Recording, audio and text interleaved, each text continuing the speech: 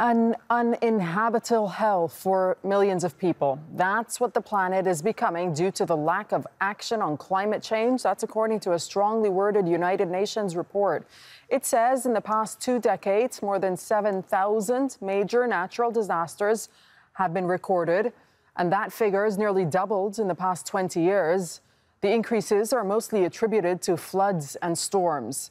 The UN is accusing political and business leaders of willingly sowing the seeds of our own destruction and says industrial nations have failed miserably on reducing greenhouse gas emissions.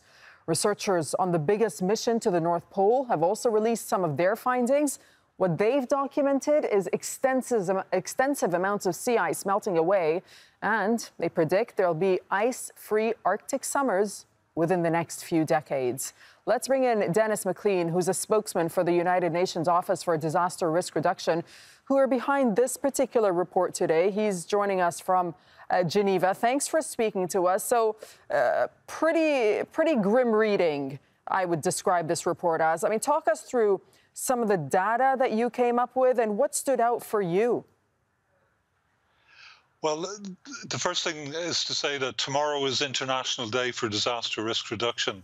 And what we are trying to highlight by publishing this report is the need to strengthen disaster risk governance so that governments, UN member states put in place national strategies for managing risk, reducing disaster risk with clear vision and competent uh, agencies to to put these strategies into effect because if we don't the the future looks very bleak indeed because over the last 20 years we've recorded over 3,000 more extreme weather events than happened in the previous 20 years.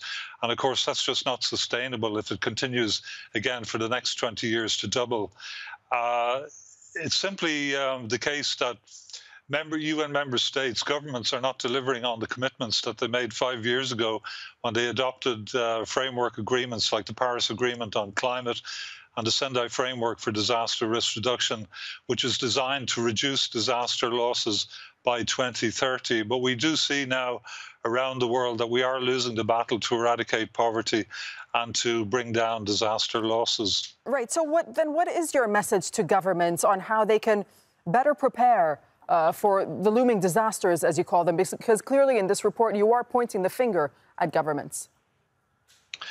Yes, I mean, in the long term, what we need to do is to see uh, progress on reducing greenhouse gas emissions so that we avoid catastrophic climate change. At the moment, we're on track for a 3.2 degree rise in, in global temperatures compared to pre-industrial levels. At the moment, we're at five, uh, we're at one degree or more and we already see the impact of that in the in the rise in extreme weather events. I mean, floods have more than doubled in the last 20 years. We've seen a huge increase in the number of storms, and we're only now beginning to understand the impact of extreme temperatures on wildfires, drought, and and uh, heat waves. And interestingly, so these, yeah. These, yeah, apologies, but your own data is showing that Asia suffered the highest number of disasters over the past 20 years, and then followed by the Americas and, and then Africa.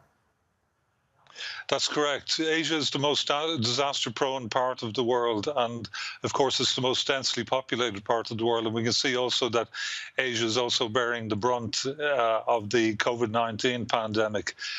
Uh, Asia also has done a very good job in some cases of reducing loss of life from disasters. I mean, I would cite the example of Bangladesh, where 50 years ago, 1 million people died in the cyclone of November 1970.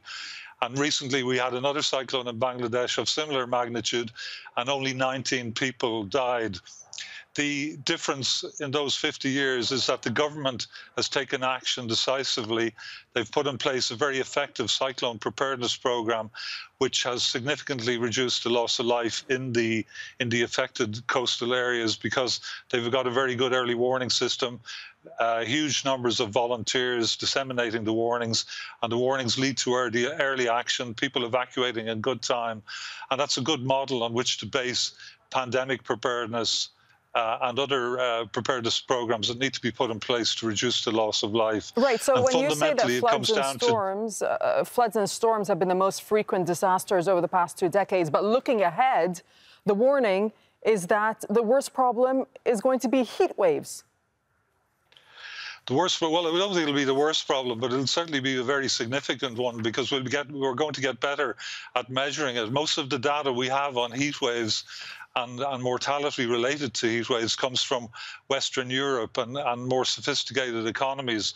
But there is no doubt that many, many deaths from heat waves are going unrecorded around the world, and we need to improve our data collection to understand better the uh, the impact that this is having on the lives of ordinary people, especially in low and middle income countries. But there is no doubt the problem is getting worse, and uh, effective measures have to be put in place to reduce mortality and the other impacts we're seeing from heat waves, especially when it comes to food security.